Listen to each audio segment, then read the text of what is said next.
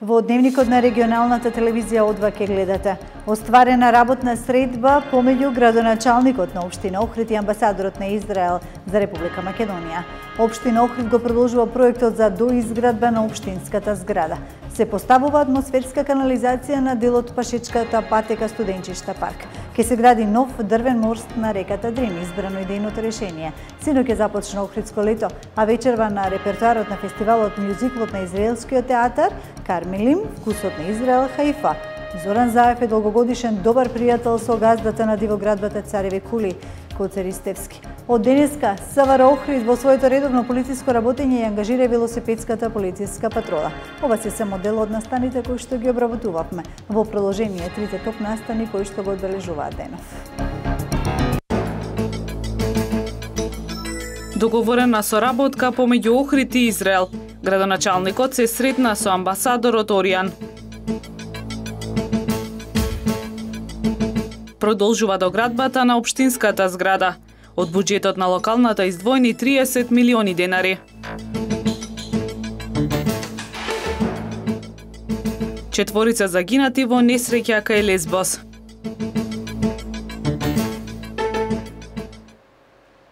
Не го менувајте каналот. Првиот дневник на регионалната телевизија О2 е во 16 часот и 30 минути.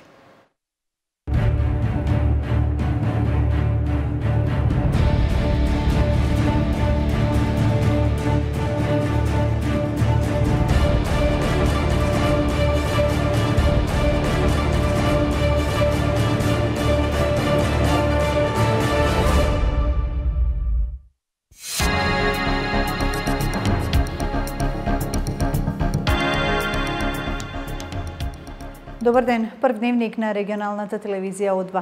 Остварена работна средба помеѓу градоначалникот на општина Охрид и амбасадорот на Израел за Република Македонија Дан Оријан. Преку средбата се потврди долгогодишната соработка и се утврдија некои идни правци за понатамошно делување, кои што би биле од заеднички интерес за општина Охрид и некои од заедниците во Израел. Пред посетата на амбасадорот на Израел на општина Охрид истиот оствари средба со представници на Факултетот за информатички науки и технологии Свети Апостол Павле, со кој веќе се договара со работка на ниво на образованието.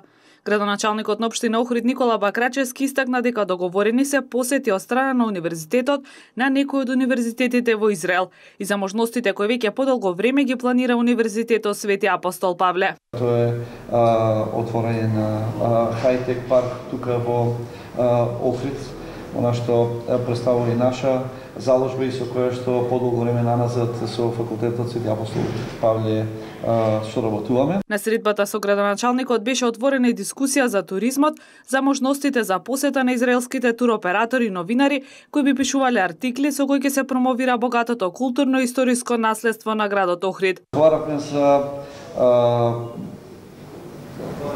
промотурата која што ни престоја, која што ќе биде организирана на конкрет на септември или првата половина на октомври она промотура која што веќе ние секоја година како локална самоуправа ја организираме тука во градот Охрид за представници на странски туроператори, туристички агенции, авиоагенции или новинари кои што пишуваат артикли за туризам. И договоривме да во рамките на оваа промотура 3 до 5 туроператори или новинари од Израел и ова година, значи го посетат градот Охрид, бидат партиципиенти на ова промотура и после тоа, значи секако да ги промовираат, да го промовираат градот Охрид во Израел. Бакрачевски истакна дека целта е да се придонесе во промоција на Охрид како туристичка дестинација. Амбасадорот на Израел за Република Македонија Дан Оријан истакна дека не само преку туроператорите, туку преку фотографии ќе се презентира Охрид во Израел. Подоцна оваа година се надеваме дека не само што ќе дојдат два туроператори во Охрид, туку ќе имаме една посебна изложба на фотографии на фотографот Кери Бристол, кој ги сликаше убавините на Охрид, така што туроператорите ќе можат да ги видат убавините на Охрид низ фотографии. Орион истакна дека пронаоѓаат различни начини за соработка помеѓу Израел и Охрид односно Македонија во целост. Интензивно се работи на доимплементација на проектот за доизградба на ново крило од општинската зграда, кој што започна уште во 2012 година. Новото крило на објектот ќе се протега на површина од 1500 метри квадратни, а со неговата доизградба ќе се реши проблемот со недостиг на простор за Охридската администрација, а и граѓаните ќе може да издаваат документи од една зграда и да се лишат од нервозите од шалтер на шалтер како досега. Општина Охрид интензивно продолжува да работи на проектот за доизградба на општинската зграда. Проектот започна да се имплементира во 2012 година, уште за време на предходното раководство, но за жал работите стоја во мртва точка, се додека актуелната власт не ги презеде да работите во свој раце. Новото крило на објектот ќе се простире на површина од 1500 метри квадратни. Периодов интензивно се работи на изработка на столаријата, поставување на лифтот, браварските работи инсталација на систем за ладење и грење. Градежните работи ги изведува компанијата Метал Електрик од Скопје, а целокупниот проект е во висина од околу 30 милиони денари. Планот на планот на општина Охрид е во овој нов дел да бидат сместени сите сектори и сите одделенија кои што во моментов не се наоѓаат во административно управната зграда, значи станува збор за секторот за заштита на животна средина, локалниот општински инспекторати, некои помали одделенија кои што се наоѓаат во простори кои што за кои што општина Охрид издвојува средства од буџетите за плаќање на наеми и кири. Со доградбата на општинската зграда не само што ќе се реши проблемот со недостиг на простор за охридската администрација, туку и граѓаните ќе можат да издаваат документи од една зграда и ќе се лишат од нервозите од шалтер на шалтер како досега. На тој начин, охриѓани ќе имаат искратено време и скратени нервози за издавање документи, но и нивната доверба во локалната ќе се искачи на многу повисоко ниво, додава Танески. Се поставува атмосферска канализација на дел од пешачката патека Студенчишта парк. Се поставуваат цевки за одведување на атмосферски води со пречник од фит 200 мм. До завршувањето на третата фаза за комплетирање остануваат уште 300 метри атмосферски одвод. Со оваа фаза полека завршува новиот изглед на пешачката патека, која што е се поатрактивна за охриѓање и гостите.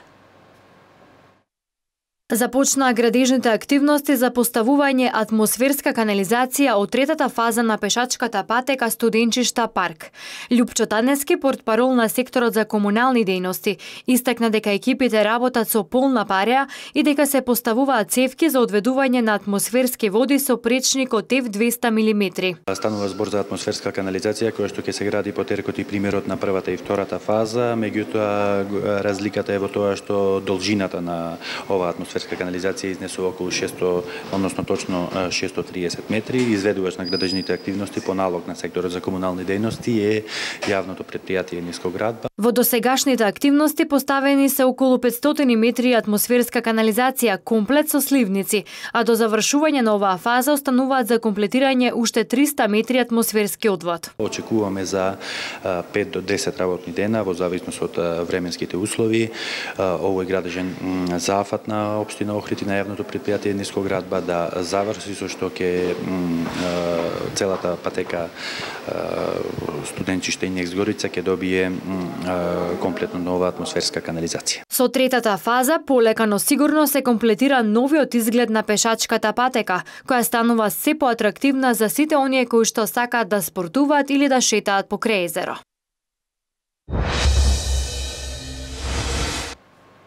На местото на некогашниот мост, кој што помеѓу стружани беше познати како мостот на Нина, ќе се гради нов дрвен мост на реката Дрим. Струшкиот градоначалник Зијадин Села истакна дека се обезбедени средства за оваа намена од буџетот на општината. Локалните власти од Струга ќе градат нов дрвен мост на реката Дрим на местото на некогашниот мост кој помеѓу стружани беше познати како мостот на Нина.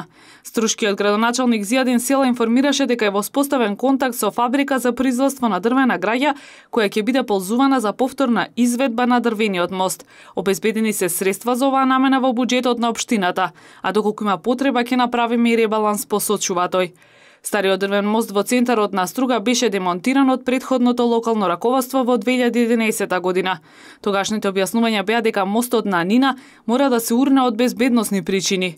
Истовремено општина Струга во текот на 2012 година изработи ново идено решение за објектот кој предвидуваше стаклена ограда и исклучување на скалишната конструкција што ги поврзува двата брега.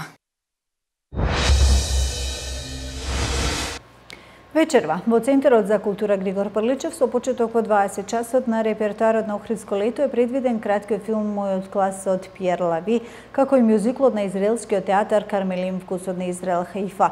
Публиката на Охрид денеска има несекојдневна можност да ужива во перформансите на оваа млада театарска група, која што представува нешто ново во понудата на Охридско лето, истакна градоначалникот на општина Охрид Никола Бакрачевски. Краткиот филм Мојот клас од Пиер Лави, како и мюзиклот на израелскиот театар Кармелим вкусот на Израел Хаифа, вечерва на репертуарот на фестивалот Охридско лето. Израелскиот театар Кармелим се состои од 25 до 30 млади луѓе на возраст од 15 до 18 години, од кои повеќето се студенти на Лео Баек средно училиште во Хаифа, како и други училишта во градот. Градоначалникот на општина Охрид Никола Бакрачевски истакна дека вечерва уживателите на културните настани ќе имаат можност да уживаат во перформансите на оваа млада театарска група. А, публиката во Охрид, публиката на Охридско лето денес има несекојдневна можност да ужива во перформансот на овие млади актери, на оваа млада театарска група која што представува нешто ново а, во понудата на Охридско лето и во која што а, публиката во Охрид има можност да се запознае не само со нивните а, перформанси кои што преку музика, песна и танц ќе ги представат а, традициите и некои а, социјални аспекти од живењето во а, а, Израел, во минатото и во сегашноста. Кармелим е основана пред 30 години и од тогаш до денес е активна. Уште од самото основање групата има цел да ја поврзе јавноста со животот во Израел, како и поблиску да се представи историјата и тековните достигнувања преку уметничка слика. Покрај мюзиклот на театарот Кармелим, на програмата вечерва е и краткиот филм Мојот клас. Made, um, Прекрасен филм направен од Пјер Лави кој е тука со нас. Филмот е за неговата посета на Македонија, Албанија, Црнагора и Србија минатата година. Целта на неговото патување беше да се постави представата нашиот клас, која ја опфаќа темата за Холокаустот. Младите актери од театарот Кармелим исто така се особено прекрасни, не само поради нивните перформанси, туку и поради тоа што се представуваат на места како што е СОС селото во Скопје, болници и слично. Настанот ќе се одржи во Центарот за култура Григор Прличев во Охрид. Со блескавиот настап на оперската дива Елина Гаранча од Латвија заедно со оркестарот на Македонската опера и балет под диригентската палка на маестро Јон Марин од Австрија стартуваше 56-тото издание на фестивалот Охридско лето. Многобројната публика имаше можност да ужива во беспрекорните изведби на музичките дела од композиторите Глинка, Чековски, Масне, сенсанс Гуно, Бизе, Чапи, Лара и Пучини. Богатата програма на фестивалот предвидува преку 50 музички настани, 9 театарски представи, 5 изложби и 8 филмови од богатата кинематографска ризница на Вардар филм.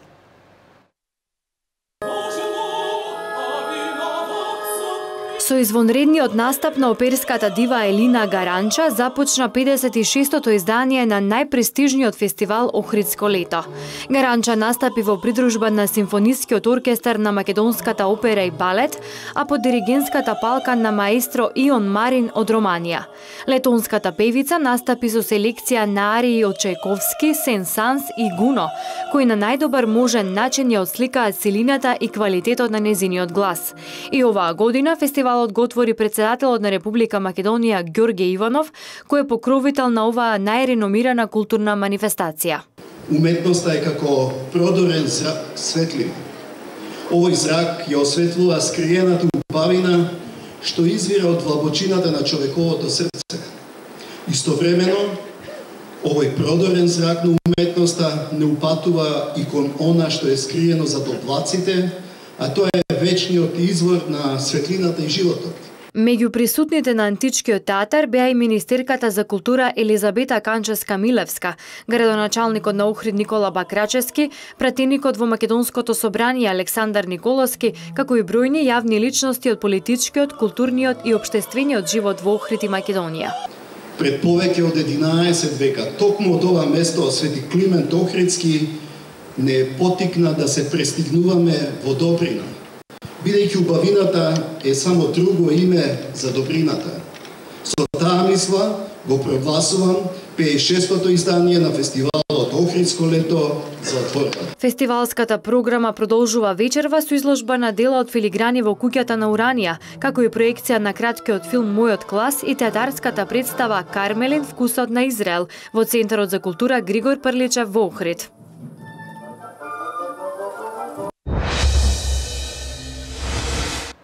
По спектакуларното отварање на 56-тото издание на фестивалот Охридско лето, синоќа министерката за култура Елизабета Канческа Милевска оствари средба со ексклузивните гости, прошејната мецо-сопранка Илина Гаранча од Латвија и романскиот регент Ион Марин, кој што ги освоја симпатиите на публиката на Античкиот театар. Министерката за култура Елизабета Канческа Милевска по спектакуларното отворање на 56-тото издание на фестивалот Охридско лето. Синој оствари средба со ексклузивните гости кои ги освоја симпатиите на публиката на Античкиот театар. Прочуената мецо-сопранка Елина Гаранча од Латвија и романскиот диригент Ион Марин. Та им го честиташе успешниот настап на нашиот најреномиран музичко-сценски фестивал и им подари карактеристични и впечатливи артефакти, преку кои големите уметници ќе го чуваат споменот за Охрид и Охридско лето. На Елина Гаранчи подари накид со македонски рубин, додека на Ион Марин приказ на сребрена пафта, која е дел од нашето богато културно наследство. И на двајцата ексклузивни гости Канческа Милевска им подари примероци од фотомонографијата Чудесна Македонија, во која се прикажани убавините на нашата земја. Зоран Заев е долгогодишен добар пријател со газдата на дивоградбата Цареви кули Коце Ристовски. Во изјавата Ристовски тврди дека не постоел никаков криминал во изградбата на хотелскиот комплекс, иако не дава одговори и докази дека објектот бил изграден пред 3.3.2011 година. Коце Ристовски, собственик на Цареви кули хотелскиот комплекс во Струмица, кој се најде во средиштето на вниманието заради најновата криминална афера со злоупотреба на градоначалникот Зоран Заев на законот за легализација на дивоградбите. Јасно и гласно потврди дека токму градоначалникот Заев, мој долгогодишен пријател пишува Република. Ристовски како аргументи посочува дека не постоел никаков криминал во изградбата на хотелскиот комплекс и дека тој бил граден повеќе години лично од него и од неговата сопруга. Не постои никаков криминал во изградбата на комплексот Цареви кули. А господинот Зарев, Зоран Заев ми е долгогодишен пријател, уште од времето кога тој не беше политичар. Значи, одговорно тврдам дека Зоран Заев нема никаква поврзаност со комплексот. Комплексот Царви кули е граден повеќе години лично од мене и мојата сопруга со која сум во брак веќе 23 години, а пријавена е за легализација во секторот за урбанизам во определен рок со закон испочитуван до крај. Ристовски додава дека бил испочитуван и законскиот рок за пријавување за легализација во секторот за урбанизам. Наместо се одговори и докази дека објектот бил изграден пред 3.3.2011 година. Ристовски во јавноста излезе со празни редови, чија тежина не ги надминува четирите реченици во сообштенијето од Обштина Струмица, според кои се е по закон и медиумите лажат. Председателот на мултиетничката коалиција Демир Далип силно ја поздравува одлуката на советниците за поставување времени објекти на територијата на Охрид. Според него, проблемот кој години наназад се провлекувал конечно добил решение, од кој што најголем бенефит ке има општинската каса и граѓаните. Одлуката за поставување времени објекти на територија на општина Охрид, која се донесе на 57-та седница на Советот, силно ја поздравуваат членовите на Охридската мултиетничка коалиција, на чело со председателот Демир Далип. Според него оваа одлука представува и законска обврска на единиците на локалните самоуправи во нашата заедничка држава Република Македонија. Од коалицијата велат дека ова е проблем кој речиси три децени и не добил решение, проблем кој е одложуван и провлекуван низ годините, а конечно добива своја разрешница, која ќе воспостави ред и ќе го преферира во главно интересот на граѓаните. Оттаму Далиб додава дека нито една локална власт пред актуелната, предводена од градоначалникот Никола Бакрачевски, не се однесувала одговорно кон јавните добра, односно не водела грижа за државниот или општинскиот имот, во кое патем спаѓа земјиштето кое се наоѓа под времените објекти, а за ова земјиште години наназад не се плакало на доместок кој корисниците на времените објекти требале да го плакеат на сметка на општина Охрид. Така со толкогодишната негрижа за овие објекти директно бил оштетен општинскиот буџет. Нивните прогнози се дека ваквата одлука на советниците ќе допринесе да се влеваат дополнителни средства во буџетот кои се во интерес на граѓаните и со тоа апсолутно ќе се врати владењето на правото и почитување на законските прописи. Тие набрзо најавуваат заедничка средба со градоначалникот Бакрачевски.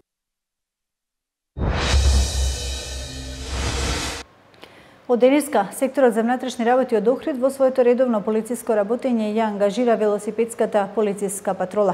Патролата има тројца полицајци велосипедисти кои што активно ќе се вклучат во превентивното и репресивното делување, пред се во реализација на кражби, спречување на вршење на кривични дела и прекршоци, откривање и преведување на сторителите на разни казнени дела по плажите и паркинзите, како и во централното градско подрече. Велосипедистите, полицајци ќе работат на реализација на мерките за одржување на јавниот ред и мир, за што имаат и посебна полициска обука. Велосипедската полиција е модерна замисла за нова и современа форма на полициско работење, што треба да обезбеди партнерство и поблизок контакт со граѓаните, збогатување со нова содржина во превентивното делување, со што кај јавноста треба да се подигне нивото на позитивна перцепција за полицијата како јавен сервис во служба на граѓаните.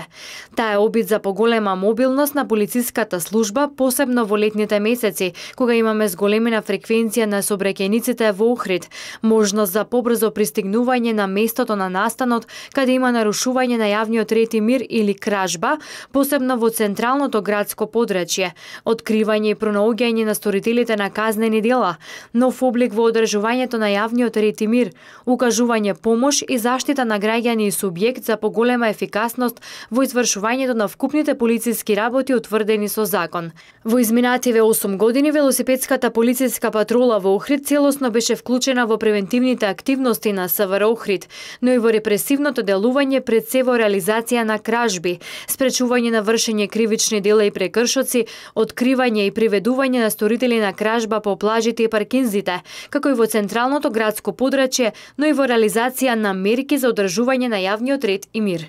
Севкупната работа на полициската велосипедска патрола се извршува крајно професионално и во согласно со законските полициски овластувања. Патролата учествува во акција акција за приведување сторител на казнено дело со што ги демонстрираа стекнатите вештини и знаења.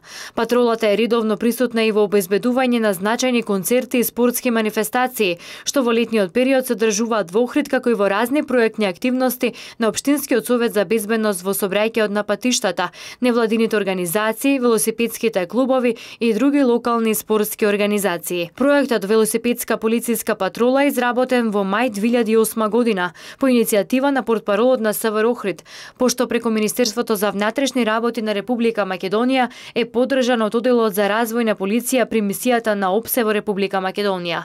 Тогаш на пригодна манифестација во МВР беа доделени вкупно пет специјални полициски велосипеди. Истите се редовно сервисирани и одржувани. Во дневникот на регионалната телевизија О2 следува временската прогноза.